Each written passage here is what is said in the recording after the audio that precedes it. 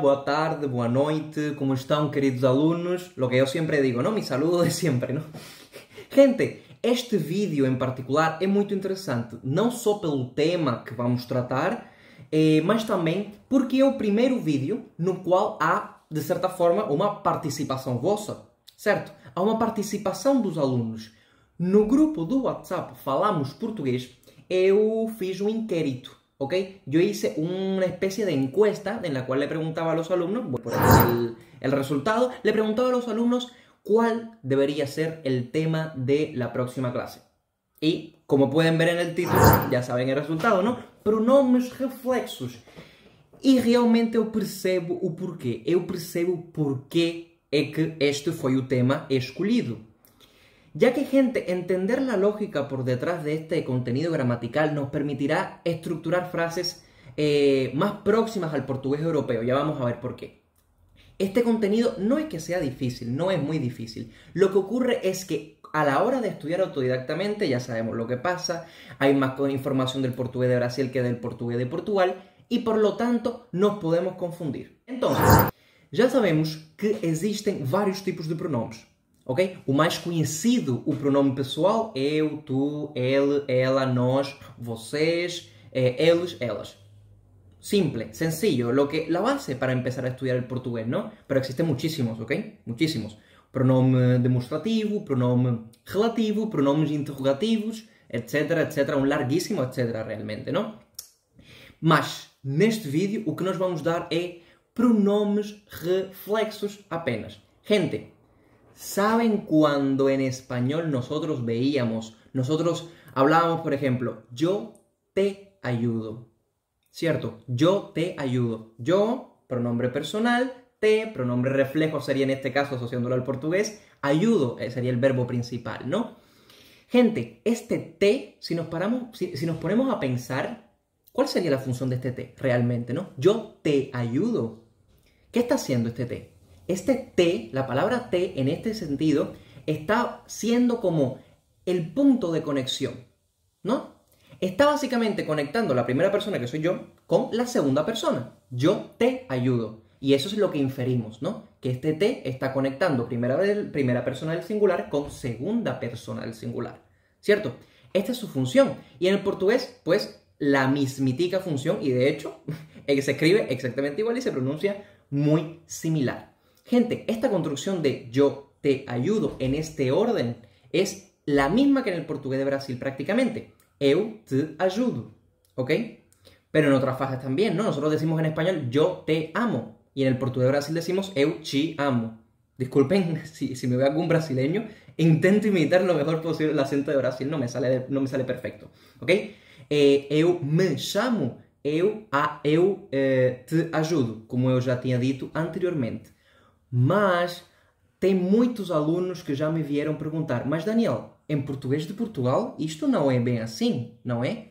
E sí, gente. Para la gente que ya llegó a este punto y ya se puso a estudiar, se habrá dado cuenta que en el portugués de Portugal eh, no se habla así, ¿ok? O la mayor parte del tiempo no se habla así. En el portugués de Portugal sería eu ajudo, trazo, trazo, cuando me digo trazo es como una línea, eu ajudo, línea, te. Eu amo-te. Eu te amo. Eu amo-te. Certo? Eu chamo-me Daniel Mendes. ¿Cierto? Eu chamo-me. Y aquí es donde entra la duda. ¿Por qué ocurre esto, no? ¿Por qué esta construcción frase que es tan diferente e incluso del portugués de Brasil? ¿Por qué es tan diferente al español y al portugués de Brasil, no? ¿Por qué ocurre esto? ¿A qué se debe, no? Esto es lo que verán en esta clase, ¿ok? Y de hecho hay mucha gente que piensa que la diferencia es que en el portugués de Portugal siempre se habla con el pronombre reflejo después del verbo. Y hay mucha gente que piensa que en el portugués de Brasil pues todo lo contrario. ¿No? Sigue la lógica del español, por lo tanto es antes del verbo siempre. Y no, gente. En el portugués de Portugal puede darse el caso perfectamente en el cual el pronombre reflejo se coloque antes del verbo. Ejemplo, si yo te pregunto, ¿cómo tú te llamas? Como tú te llamas? Yo respondo, eu chamo-me Daniel. ¿Vieron? Entonces, cuándo sí, cuándo no, cuándo es después, cuándo es antes. Eso es lo que verán en esta clase, gente. Eso precisamente es lo que van a ver en esta clase. Gente, no les robo más el tiempo. Directamente quería decirles también, no, no se vayan a mitad de la clase, no se vayan a mitad del video, ya que al final hay ejercicios, ¿ok? Y les aconsejo que vayan parando el video siempre que puedan para que puedan responder a los ejercicios y entrenar a medida que va, a medida que van viendo y repasando el contenido, ¿no? Gente, simplemente ya, no hablo más, me callo, que estoy hablando muchísimo. Les recuerdo, gente, si tienen algún interés, si tienen alguna duda en relación al curso, pues no duden en contactarme, dejaré mi teléfono por aquí, por alguna parte del video y no les robo más el tiempo, gente. Que lo Hay que entender primero, a posición natural dos pronombres es siempre postverbal, que es el nombre técnico que se llama enclice. La mayor parte de las veces es postverbal, ¿no? Entonces, como la mayor parte de las veces es postverbal, lo que nosotros vamos a estudiar es cuándo no es postverbal, cuándo es antes del verbo, ¿no? Dígame, Agustín. La posición natural, gente, siempre es postverbal. Vamos, lo que vamos a estudiar es cuándo no lo es, ¿cierto? Y tenemos aquí otros casos, ¿no? Tenemos la, la primera situación que es postverbal, que es la natural. Después tenemos intercalado con el verbo, o sea, en el medio del verbo. Y después tenemos antes del verbo, que es como normalmente se dice en portugués de Brasil y en español. ¿Ok? Gente, el intercalado en el verbo es cuando ustedes cuando se puede encontrar eh, verbos que tienen hasta dos plecas. ¿Cierto? Fíjate. Vamos a leer esto. Amesoclis, que es cuando el verbo está intercalado, cuando el pronombre está intercalado, solo en frases no condicional y en frases no futuro. Por ejemplo, cuando yo te digo, yo le contaría a mi padre si él no fuese un poco cerrado de mente. Vamos a poner esta frase, ¿no? Yo le contaría, parece que quiero declarar que soy gay, no, pero, pero no tiene nada que ver. Pero, pero imaginemos la frase, yo le contaría, ¿vieron, ¿vieron la estructura? Yo le contaría si, ¿me entienden? Es una condicional. Manifestándose la, la condición de que mi padre fuese de mente abierta, yo podría hablarlo sin problema. Pero como no es el caso, ¿Me entienden lo que le quiero decir? Es por eso se dice condicional. Y, y la estructura condicional en el portugués se construye así. Eu contarle toda la verdad. Yo le contaría toda la verdad. Y es en estos casos cuando ustedes pueden ver eh, verbos con hasta dos plecas. Contar, trazo, le, trazo, ia. Le contaría. Es así como se estructura esto en el portugués. Cosa que no vamos a dar en la clase. Porque esto es portugués advanced realmente. ¿Ok? ¿Ves? Esto, estas construcciones frásicas no las vamos a dar. Pero es para que sepan que existe. ¿Ok? Y también en frases en el futuro. Él nos dará comida. Él darnos a comida. Dar, trazo, nos, trazo a comida. ¿Ok? Tampoco lo vamos a dar porque ni siquiera es una construcción simple del futuro, es una, es una construcción eh, afirmativa afirmativa del futuro. Esto ya es, ¿para qué hablar? Súper avanzado también. En donde sí nos vamos a enfocar en estas clases es a aprender a distinguir entre después del verbo y antes del verbo. El antes del verbo se denomina como próclice. Socorre cuando se encuentran ciertos elementos gramaticales en una frase. Y quédense con esto. Solo se pone el pronombre reflejo antes del verbo cuando hay ciertos elementos gramaticales. Y esta clase va a ser obviamente esta parte de la clase. voy, a, voy a recordarles, ¿no? No va a ser toda la clase dando esto. Vamos a avanzar también un poquito. Esta clase va a ser recordando específicamente cuáles son esos elementos gramaticales que intentan alar el pronombre para atrás del verbo. ¿Ok? Vamos a ver entonces. Gente, los tales elementos son, punto número uno, cuando la frase es negativa o cuando tiene un elemento negativo. Vamos, ah, mire, mejor que decirle que cuando es negativa, vamos a cuando tienen un elemento negativo en la frase. El elemento negativo es now, name, nada, nunca, ninguém, un jamais. ¿Cierto? Son elementos negativos. Y por eso tú no puedes decir now dice nada. Eso es incorrecto. Tienes que decir now te dice nada. No te dije nada. Pero esto es siguiendo la lógica del español porque es realmente muy parecido, ¿no? Te dice nada. nunca se falou disso.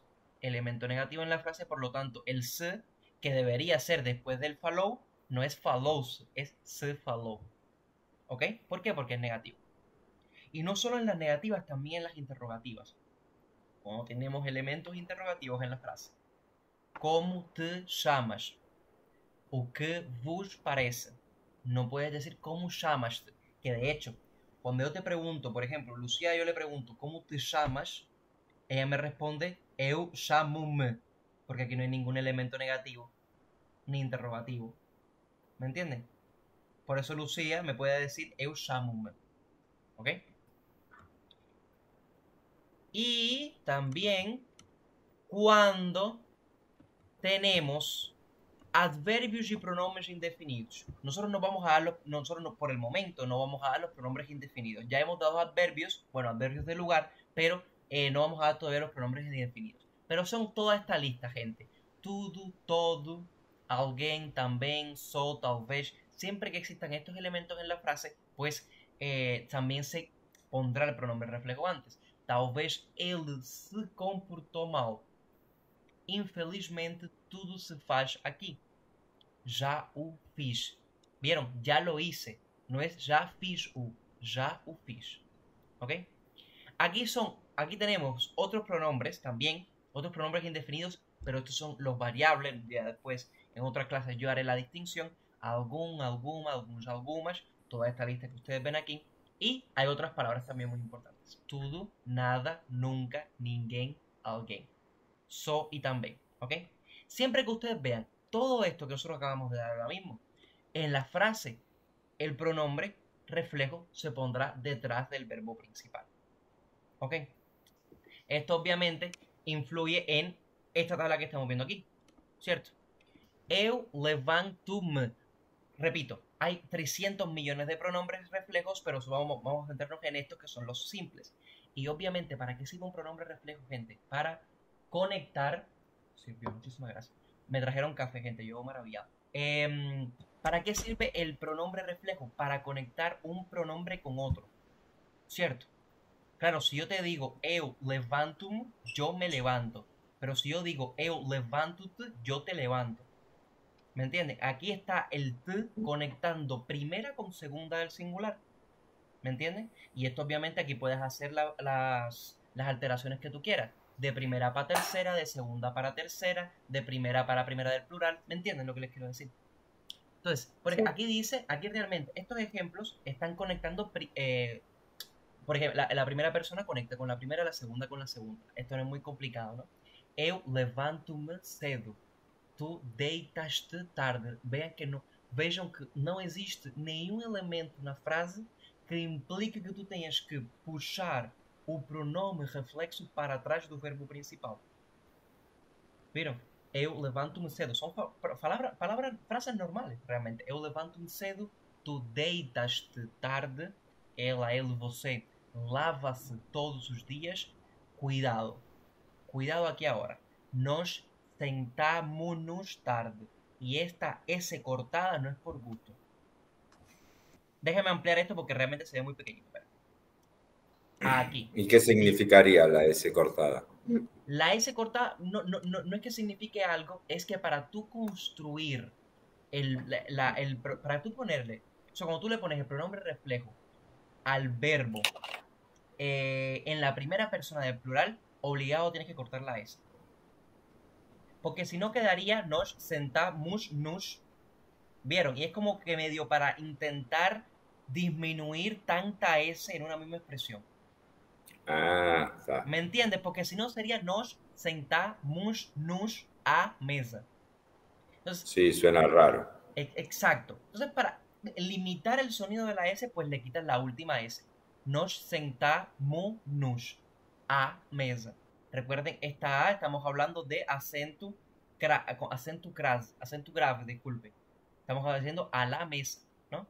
Eh, estamos sumando A de preposición y A de artículo. ¿Ok? Ok. Aquí yo quería decir, al final no tenía nada que ver con lo que te ibas a decir, pero ustedes se acuerdan cuando, bueno, cuando, yo normalmente digo que hay que tener mucho cuidado entre la diferencia de E sin acento y E con acento, teniendo en cuenta que E es... la otra vez. ¿Cómo, cómo? Una es I y la otra es. Exactamente, efectivamente. Esta, esta diferenciación de sonidos también ocurre con NUS sin acento y Ah, sí. Uy, sí. acento. Así que hay que tener mucho cuidado. Porque si tú dices también nos levantamos cedo, estás hablando de también nos levantamos. A ver, también nos levantamos Nos- temprano. También, También nos nos lev- levantamos temprano. Nosotros nos levantamos. Yo lo difícil con cuando tú dices, nosotros, nosotros nos levantamos temprano. ¿Cómo? Ah, no, entonces estoy equivocado. Es que yo juraba que era nosotros, como nosotros, y el otro era nuestros. No, No. pero nuestros en español es un posesivo. Nuestros teléfonos. Y recordando contenido anti- eh, eh, anterior. E eles ou elas, vocês sentam-se no sofá. Gente, esta, esta alteración que sufre el verbo en la primera del plural es solo en la primera del plural. No es en ninguna otra, ningún otro tiempo, ningún otro pronombre, así que no se preocupen. Y entonces fíjate, esta tabla es realmente interesante porque incluso aquí abajito te pone a conjugação pronominal reflexa. Mas em vez de ser pós-verbal, é antes do verbo, aplicando todos os eh, pontos gramaticais que eu já expliquei anteriormente. Certo? Miren aqui, como te chamas? ¿Por qué es como te chamas y no cómo llamaste? Porque tenemos el interrogativo como. ¿Vieron? Não se Ujú. deita tarde. No se, bueno, esto es una pregunta. ¿No se deita tarde? Este no se deita tarde, ¿por qué? Porque la frase está en negativa, tenemos aquí now. ¿Ok? Nunca me deito cedo. Ese es Agustín cuando encuentra un juego que le encanta. Cuando encuentra un... Cuando, cuando ve a alguien en Twitch. Nunca, te, nu- nunca me deito cedo. ¿No? ¿Por qué? ¿Qué Estamos hablando de... Nunca es acostarse. Nunca me acuesto temprano. Mm. ¿Ok? Yo sí me acuesto temprano. Ah, deja que. Mira, mira, mira. Depois do dia 18 é que tu me dizes se tu deitas te- cedo ou não. Depois do dia 18, quando tenhas férias, aí é que eu quero ver. Yo tengo unas horas predeterminadas. Ah, Claro, porque mamá no lo deja Ah, te tienen estar controlado. muchas horas. No puedo estar todo el día con la computadora. Muy bien. Ya lo haría, pero Muy bien, muy bien. Pero que, que quisiera, haría. ¿no? Pero tú lo harías, exactamente. Yo también, también tuve una fase de jugar a videojuegos muy dura. Muy dura de pasarme muchas horas. Entonces, nunca também temos um membro negativo na frase. Consequentemente, o pronome reflexo vai para trás do verbo deitar, que é o verbo principal. Certo? Também nos levantamos cedo. Si, es, si no estuviese el también aquí, que es un pronombre indefinido, sería levantamos-nos.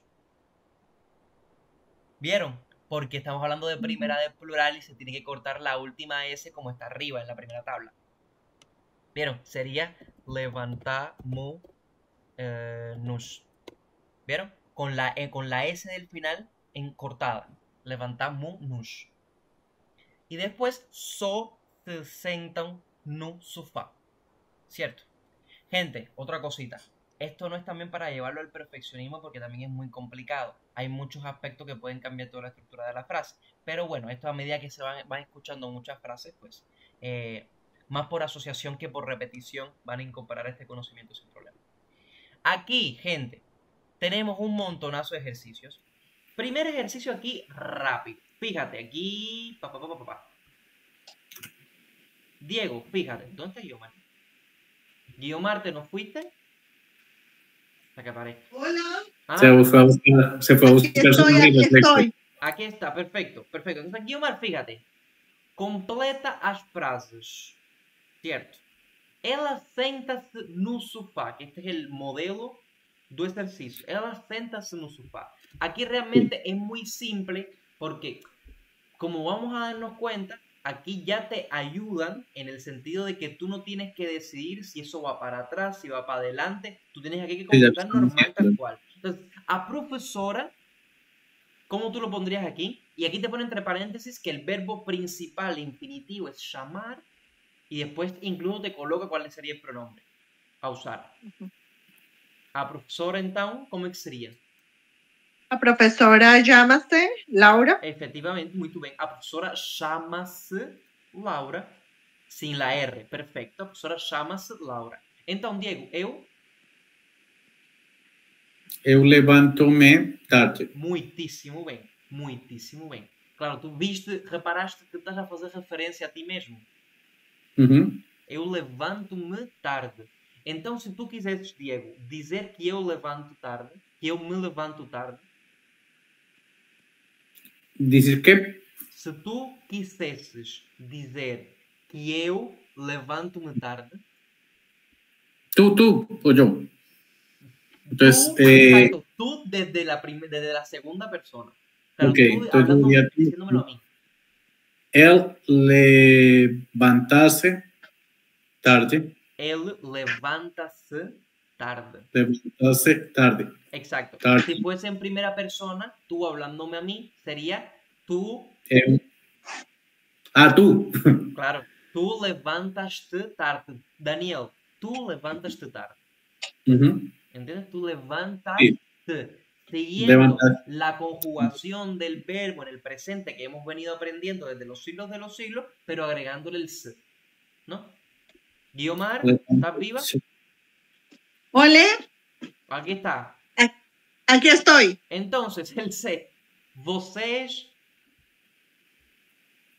Vocês eh, lavam-se to- todos os dias? Muitíssimo bem, muitíssimo bem. Vocês levantam-se todos os dias. E finalmente, Diego, Nos deitamos. un tico. Deitámonos muitíssimo bem. tarde. Muito bem. Porque este é o caso da primeira pessoa do plural que cortamos o último S. Muitíssimo bem, muitíssimo bem. E então, olha aqui. Colocar, agora sim é que vem o interessante. Colocar os pronomes antes ou depois dos verbos. Que este era o exercício que faltava no teu curso, no curso Luís de Camões. Que era para definir quando é que é antes e quando é que é depois. E olha o exemplo que eles colocam que eu acho espetacular. Eu levanto-me sempre cedo. Nunca me levanto tarde. ¿Viste? Mm. Ten- tenemos al inicio una frase afirmativa normal, común y corriente, sin de de la negación. lista que, que hemos visto antes, y después punto, y después te pone, comienza la palabra luego con nunca, que es una negación. Nunca Es que- levanto tarde. El problema que tenía uno en esta Luis Camoes era tal cual. Le mostraban el ejemplo, de cuenta, esa primera frase, solamente mostraban el ejemplo hasta la mitad. O sea, sin el nunca. ¿Sí? Y en los ejercicios que ya estaban abajo, ahí ya le aparecía el nunca me levanto, entonces, y nunca le explicaron cuándo utilizar el uno y cuándo utilizar el otro. Asumían que lo, con los ejercicios usted lo iba a intuir, pero nunca lo iba a hacer. Imposible, como tú intuyes eso. Como tú intuyes Sí, eso, no. complicadísimo. Por ejemplo, en esta misma, Diego, como bla bla bla chama a professora. Parênteses, tu não tens que completar, como é lógico, tu não tens que comple- completar os dois espaços. Tu tens que escolher No. qual é o espaço que completas. Entonces acá sería como, eh, espera un tico, eh, como es una interrogación. Es que tengo la B porque está el cómo. Entonces yo diría cómo se llama a profesora. Exatamente. A profesora. Por que, que tinhas dúvida? Tem, tem o ponto de interrogação e tem um pronome de interrogação. Então, pronto. Um pronome de interrogação, não um pronome interrogativo. Ujú.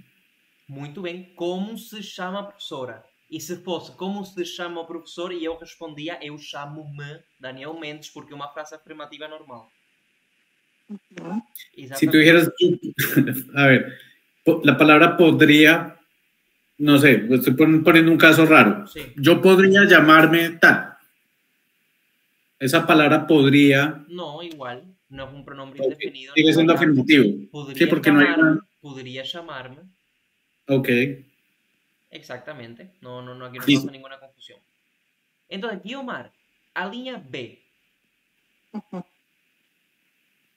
Eu não me eh, dei, eu não me deito eh, agora porque tenho de trabalhar. Muito bem. Olhem, parênteses aqui. Oye, o- una cosa, pero como así de trabajar? Ah, eh, aquí tú no estuviste en esta clase. ¿Sería Que que yo. No, no, no, no, no, negativo, eso es lo que iba a hablar yo ahora. Negativo. ¿Sabes por qué? Que esto Por- hace, hace referencia a cuando nosotros vimos el verbo ter. Cuando vimos el verbo ter, yo lo voy a, de hecho, lo voy a poner aquí rápido. Cuando nosotros vimos el verbo ter, ay, mi madre, para que yo llegue aquí el verbo ter. Ah, no, no, no, mira, llegué. El verbo ter. Pa, pa, pa, pa, pa, pa. ¿Dónde estaba eso? Ah, mira. No, no, no, a ver. Exactamente, Guiomar, mira, mira para acá. Nosotros, cuando habíamos dado el verbo ter, tínhamos visto que a conjugação do verbo ter era esta que está aqui. Eu tenho, tu tens, ele ou ela tem, nós temos, vocês, elas, elas têm. Até aqui, tudo bem, não há problema nenhum. Mas nós tínhamos visto que o verbo ter era um verbo onde apareciam muitos modismos. Ok? Que eram era um produto de uma combinação do, de tenho com várias preposições. Uma Ajá. dessas preposições era de. Otras preposiciones con las que se puede combinar es eh, con y eh, a. Pero bueno, eso, eso, eso, eso, eso es parte de otro contenido, ¿no? Pero lo que nos incumbe ahora es el de. Cuando tú combinas, Guiomar, un verbo ter y a preposición de, tú estás mostrando una obrigación o necesidad. Cuando, por ejemplo, tú dices Sí. aquí, tenho de me des... Ay, disculpen. Tenho de me despachar, estás creando la necesidad o la obligatoriedad de decir que tienes que apresurarte. Y eso no es con qué, es con de en portugués de Portugal. Sí, Cuando- pero es que ahí no dice de, de trabajar, mm, no dice de... Oh, sí, sí, sí, ya, Sí, ya, sí, ya comprendí, dices, ya sí, comprendí. Es tal cual lo que estábamos hablando. O sea, Sí, sí, sí, tal cual, tal cual, tal cual. Tiene que hacerlo. tiene que trabajar. De hecho, lo que tú me dijiste, la Sí. curiosidad que tú tuviste fue, ah, pero ¿por qué no es que? Eso está mal. ¿Por qué es que? ¿Por qué, por qué es de? Debería ser que, pero no, es de y está correcto porque Sí, sí, sí, transmite sí, la obligación de que tienes que ir a trabajar. Que no Sí, es transmite la obligación. pero en portugués con D. Igual que tenho de estudar para os exames. No es tenho que estudar para os exames. Eso es un error que admito que yo hasta hace bien poco, hasta hace muy poco, poquito tiempo yo cometía también. Que era el tenho que. Ajá. ¿No? Tenho que. Eh. Fíjate, eu não me deito agora porque tenho de trabalhar. Fíjate que él está expresando que no puede eh, acostarse ahora porque tiene que ir a trabajar. Entonces, eu não tenho que. eh, Eu não me tenho. Ah, não. Eu não me deito, disculpen agora, porque eu tenho de trabalhar. Exactamente.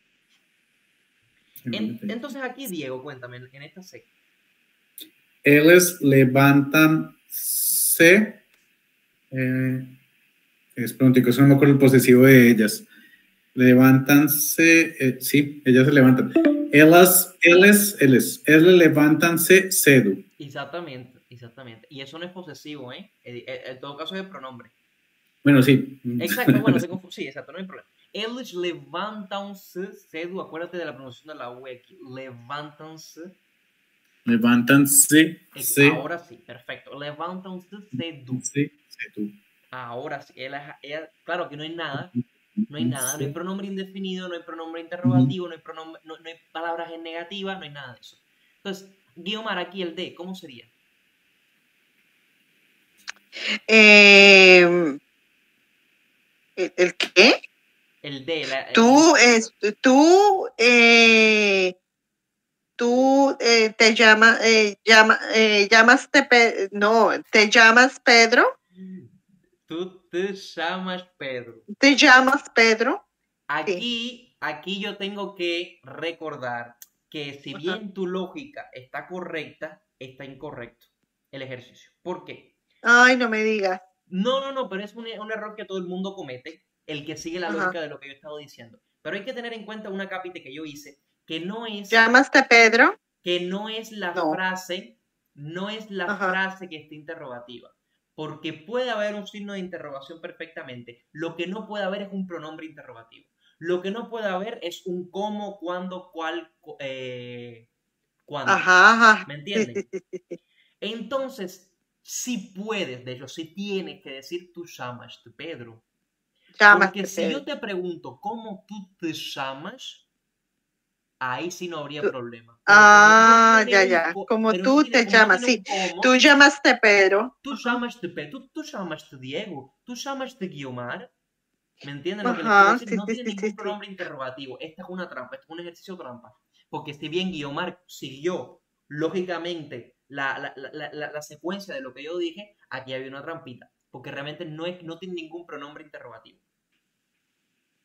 Es una interrogación, pero como no estás utilizando el WH o la pregunta, entonces ahí se colocaría al final. Exactamente. No estás, sí, no estás eh, eh, usando ningún pronombre interrogativo. Ni un cuándo, ni un cómo, ni un qué, Cuándo, ni un cómo, cuál, nada, sí. Ni nada de eso. Pero, Efectivamente. pregunta, entonces el, el E también tiene trampa, porque hay una coma que separa, ¿cierto? Yo sé que yo tengo alumnos muy inteligentes. Exactamente, y se te tocaba a ti. Respóndelo entonces cómo sería. Entonces sería, now, eu chamo-me Fernando. Efectivamente, muchísimo bien. Exactamente. Now, vírgula, eu chamo-me Fernando. Porque Si no tuviera la vírgula, la vírgula, ahí sí sería now, eu, eu me chamo. chamo Fernando. Ok.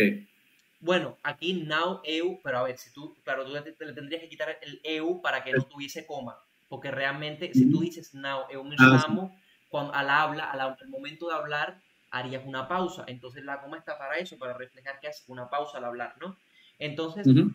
eh, pausa un poquito el sentido y, y pone otro sentido a funcionar, no hace otra secuencia. Entonces aquí sería medio, medio complicado. Pero si tú, por ejemplo, si tú dijeses, now me llamo, eh, no me llamo Pedro, imaginemos que estamos siguiendo la secuencia de la pregunta.